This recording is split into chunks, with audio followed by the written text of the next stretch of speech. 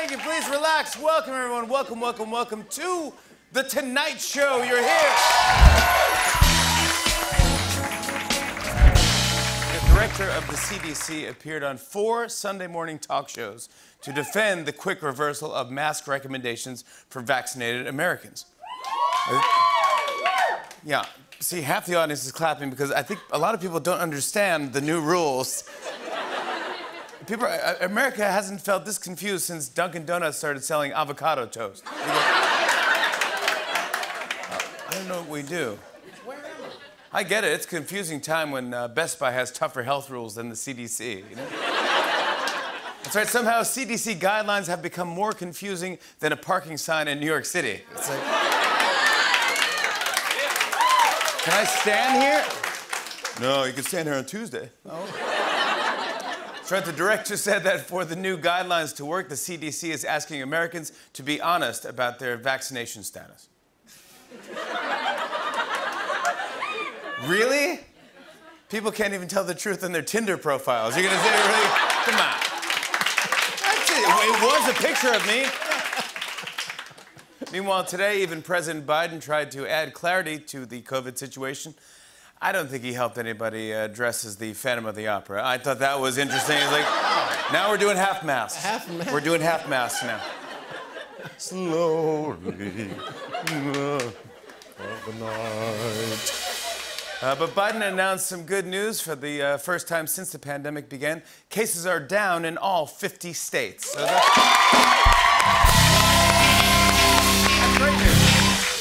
That's right. COVID numbers are down, and Instagram posts of people's brunches are way up. Oh, Look at those eggs. Wow. Like, Biden also announced plans to send 20 million more vaccine doses abroad by the end of June. And you know that, yeah, that's good. And you know that when the vaccines come back home, they'll be like, it's actually pronounced Pfizer.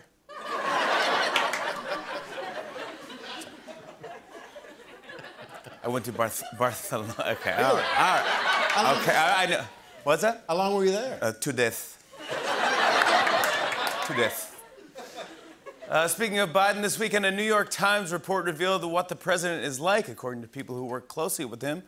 They say Biden's obsessed with details, asks many questions, and displays unexpected warmth. It's all part of their plan to release the most boring tell all book of all time. Oh, wow, he flosses too. the report also says that Biden's drink of choice is orange Gatorade. Oh. Is it?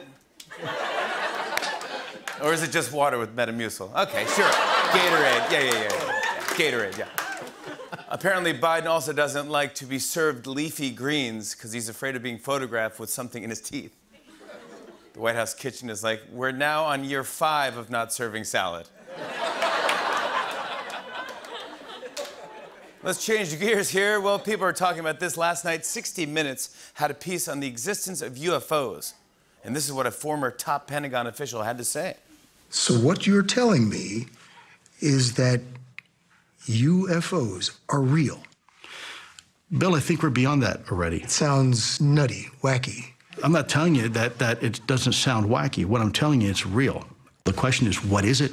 What are its intentions? What are its capabilities? And of course, he's talking about his goatee. what are his intentions? Yes, it's wacky. Yes, it's nutty. I think it's kind of edgy, and I'm also in a swing band. I had no idea the top Pentagon official was also in charge of all the elves in the North Pole. Wow. Herbie doesn't like to make toys. All I know is if aliens are real, it means we're a year away from seeing this. I'm Lesley Stahl. I'm Bill Whitaker. I'm Anderson Cooper. And I am Zorgalak 368. Guys, today is May 17th, and you know what that means? It is tax day. Yeah. yeah, I got it. Uh, the most popular Google search today was Can I write off my home if it's also my office? And can I write off my bed if it's also my desk? uh, since it's tax day, can we see what the head of the IRS looks like? Yeah. Don't worry if you forgot to file your taxes. He looks pretty understanding. Can I see him again? Can we forget? Looks like his son just told him I need 10 grand for DJ school. Some business news. I saw that Pabst Blue Ribbon and Entenmann's are teaming up to release a new pairing of hard coffee and donuts. Take a look at this. And to make it a truly balanced breakfast, just throw in half a pack of Newport Lights. There you go. That's. Speaking of new products, I heard that Mountain Dew is launching a birthday cake flavored drink called Mountain Dew Cake Smash. Take a look at this thing. Yep. On the can, the nutrition facts just say, come on.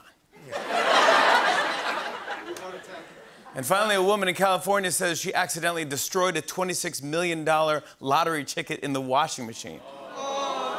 When she told lottery officials that she lost a $26 million lottery ticket, the guy behind her in line was like, Yes, I also lost a $26 million lottery ticket. First time in over a year, New York City has resumed 24 hour subway service. That's. That's right, the subways are once again running 24 hours a day, minus the 23 hours they're out of service, but still. That's right, the subway is running 24 hours is great news for the city, but uh, tough break for all the rat weddings that have scheduled between 2 and 4 a.m. Unfortunate. Do you guys remember simpler times in New York City when the biggest health crisis was a pole on the 7th train? touch that thing. I'd rather fall into someone than touch that pole. That's right, there's the A, there's the B, the C, a bunch of other types of hepatitis you can get on the subway. Just be careful you grab that pole. Speaking of New York, the Brooklyn Nets are in the NBA playoffs. Oh, They're in the NBA playoffs, and Mayor Bill de Blasio showed his team's spirit while announcing that their arena will also be a vaccination site. Check out uh, how he was dressed. The Nets are now going to be joining the battle against COVID with a mobile vaccination site right outside Barclays Center. Right now, Jay Z is like, thank God I sold my piece of the Nets. I, he looks like a guy who sits courtside and can't get any high fives from the players. You know that guy? You got the classic basketball fan outfit hat, jersey, and a blue button down over the jersey. I don't think I've ever seen anyone wear that in my life. Ever. Why? You don't think it'd be someone in the office go like, ah, you put the jersey over the shirt, maybe? Yeah, you know what? Put the shirt over the jersey. First thing you say, you're all right. That's a that's a fashion version of an air ball. You know, uh, that's Rob Lowe looked more natural at the NFC Championship, and he was just because he was rooting for football there. you know? Speaking of vaccination sites, later this week, a strip club in Las Vegas will be offering the COVID vaccine. All right, now we're up to two poles you shouldn't put your hands on. Okay, just. That's right. The strip club is the only vaccination site where you leave and still need to get tested. You know what I'm saying? When you walk into the club, there's a sign that says two dose minimum. You know what I'm saying? The idea makes sense if we're being honest. The vaccines do kind of sound like stripper names, like put your hands together for Moderna.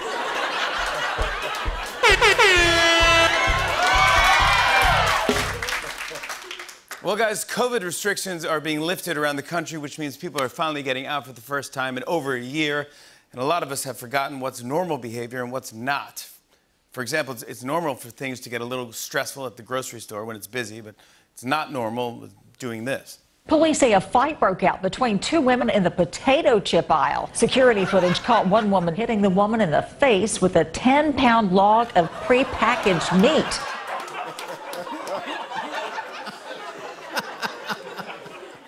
Also, with the weather warming up, it's normal if you want to go outside and hang out. What's not normal is doing it like this. One South Florida man tried to tell police he was just hanging out. The only problem was he was relaxing on a traffic light.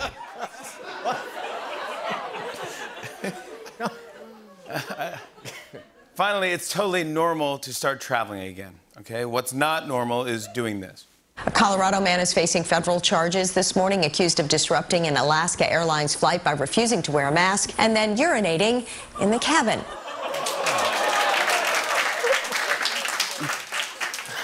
Oh, he's pissed. Some news out of Washington last night. President Biden released his tax returns, and the White House put out a statement that said Today, the president released his 2020 federal income tax return, continuing an almost uninterrupted tradition.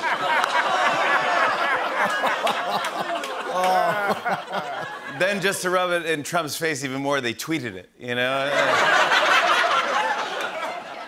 But this is nice. According to their tax return, the Bidens gave over $30,000 to charity. Yeah. It was an offshoot of Big Brothers, Big Sisters called uh, Big Biden's Little Carters. And uh,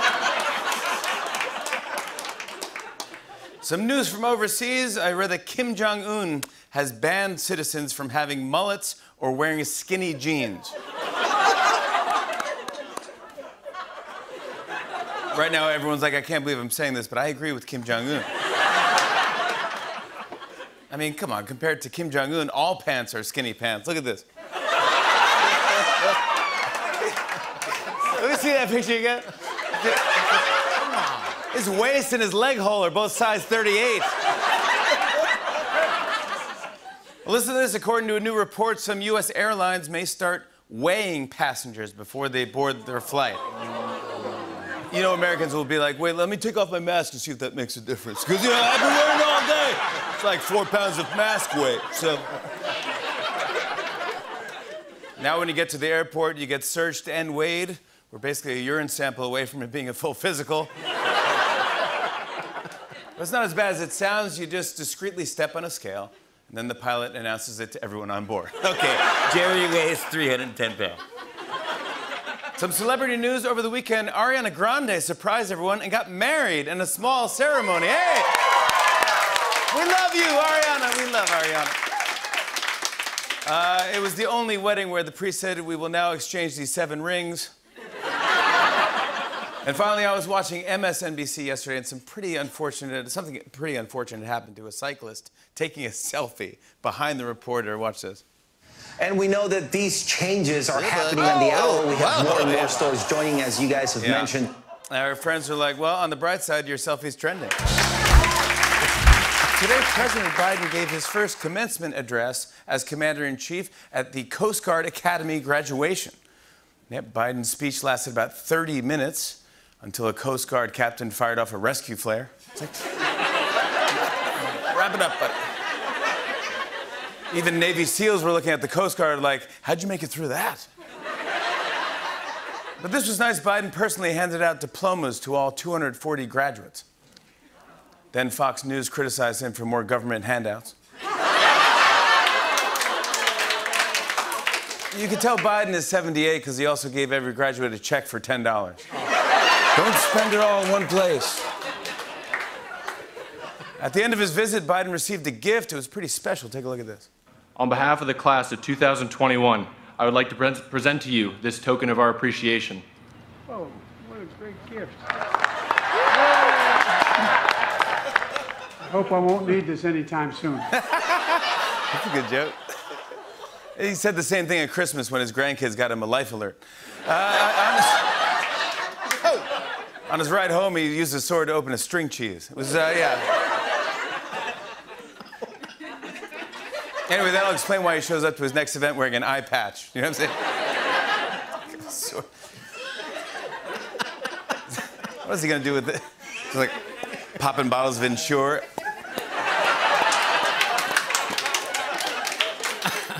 Side note, by the way, why does the Coast Guard carry swords? Shouldn't it be a harpoon or something? Guarding the coast, like something's coming down the coast. Let's, let's wait till they land and get about two feet from us, then we can uh, defend ourselves. Get them bazookas. What are we doing?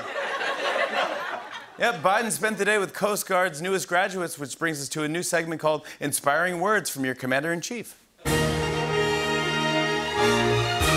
You are quite, you're a really dull class.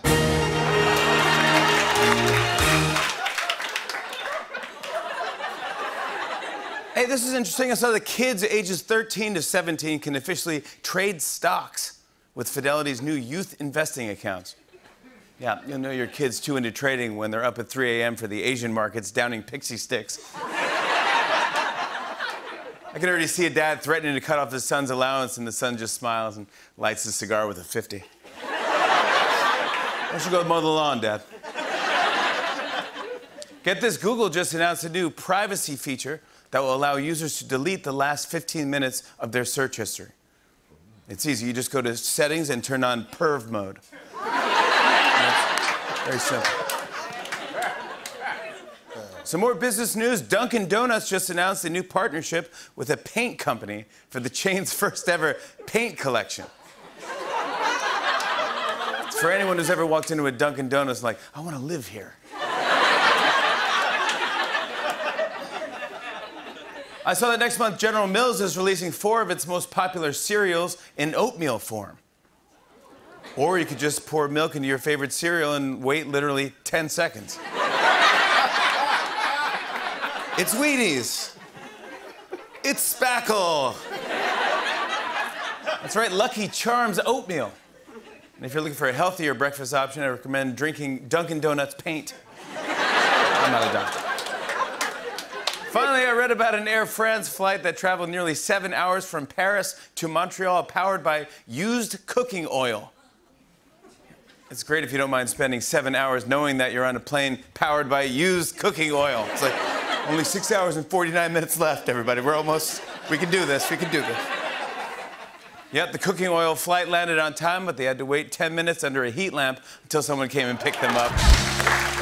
Guys, this is very exciting. Today, New York announced a new program called Vax and Scratch, where people who get vaccinated receive a lottery ticket that could be worth $5 million. Just think, in one day, New Yorkers can get a life saving vaccine and enough money for a one bedroom apartment. Isn't that unbelievable? a studio apartment, let's be honest.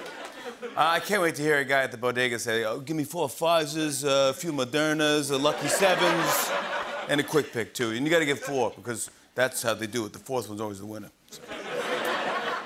Meanwhile, New Jersey also announced some new vaccine incentives like free wine, park passes, and dinner with the governor and his wife. People in New Jersey were like, well, two out of three ain't bad. Can't wait until some guy wins dinner with the governor's like, honey, break out the fancy evening tracksuits. This is a legitimate dinner situation. Steam it out. Zip it up halfway. No. Speaking of vaccines, the FDA now says that the Pfizer vaccine can be stored at normal refrigerator temperatures for up to a month. So we've gone from storing the vaccine in a special containment facility to treating it like leftover pad thai. So that's good. Does it smell weird to you? Just put it in the needle and give me one. Some big news from Washington. Last night, the House voted 252 to 175 to form a commission that would investigate the January 6th Capitol riots. But, but that's right, that's almost half of the House voted no. It's like playing a game of Clue, and half the players are like, I think we just let this one go, right? It, with the pipe in the library. Yeah. Not only did 175 Republicans vote against the commission, they also want to make January 6th bring your insane rioter to work day. And that's why this gets interesting. The bill now heads to the Senate where it needs support of 10 Republicans. Come on, there's a better chance of 10 dentists supporting Mountain Dew Cake Smash. You know what I'm saying? Well, get this Mike Pence's brother, Greg Pence, voted no. People said, don't, don't you care that they tried to kill your brother? I was like, nose before bros. That'll make for a fun family barbecue this summer. Mother, ask Judas how he wants his meat patty. Some business news I saw that this summer, IHOP plans to launch a more casual spin off chain called Flip'd by IHOP. Yeah. That, that was always my complaint about IHOP. Too formal. Yeah. How much more casual can you get than a restaurant that has word jumbles on the placemats? Uh, hey, I heard that uh, Uber released this annual Lost and Found Index, which is always fun. Check out some of the items that people left behind over the past year. Among the most commonly forgotten items are phones, cameras, wallets, keys, and backpacks or luggage. Some of the most unique items on the list include a tooth, a cooler full of fish, a mannequin head, a crystal chandelier, and a toilet seat. Yeah, either a bunch of people were really drunk or Carrot Top uses Uber. Today, the White House announced a new way that they're trying to get more Americans vaccinated. Listen to this. Some of America's biggest dating apps are joining the White House push to get Americans vaccinated. Apps including Tinder, Hinge, and Bumble will offer badges for singles to display their vaccination status. Sure. That's great. The, the, the only other shot dating apps ever promoted was penicillin. So I think that's a great. Uh, I like the idea. You get your shots, you meet someone on Tinder, then get a few more shots. Um, usually, when you hear White House and Tinder in the same sentence, it's followed by resignation and disgrace. You know what I'm saying? You know, this started when some CDC employee was like, uh, honey, it's not what you think. It's a, it's a work project. Yeah, they're offering a bunch of features for users who get the vaccine, like being able to add an I'm vaccinated badge to their profile. Americans are like, ooh, that's even hotter than being verified on Twitter. That's hot.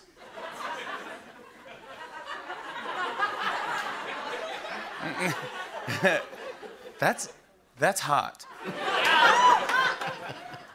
NB. That's my new jam. NB? NB, yeah. No biggie? No big? Yeah, you don't say D anymore. You don't say NBD. You just go NB. No, no big deal. Too long. Right. NBD, NBD.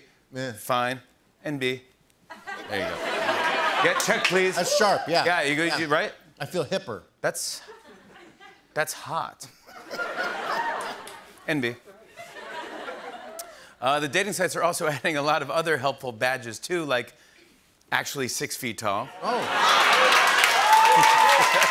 That'll work. Prove it. Stand next to something. Stand next to something that's Oh, six feet oh. tall. Yeah. It's a Uh, giant fire hydrant. Uh, also, they have the badge. Uh, this is a recent photo. Yeah, yeah I, want to know. Yeah, I want to know. Is this a recent photo? Uh, then uh, there's also the badge, of course, not a serial killer, and that's good if you know that. Also, for the weirdos who post group photos on their dating profile, they offer, "I'm the second one from the right." Like, yeah. I know. I know it's a group photo, but it's a good one to me, so I'm gonna post it. I mean, look who else he could have been stuck with. My other friends disasters. Speaking of vaccinations, I saw that people will soon be able to get their vaccine shots at airports like LaGuardia. New Yorkers heard and were like, I'm flying through LaGuardia. You think I care about living? Uh, I just ate a cold hot dog and flat soda. I'm. I'm guessing the people who are waiting to get vaccinated at the airport are the same people buying luggage at the airport. How busy are you?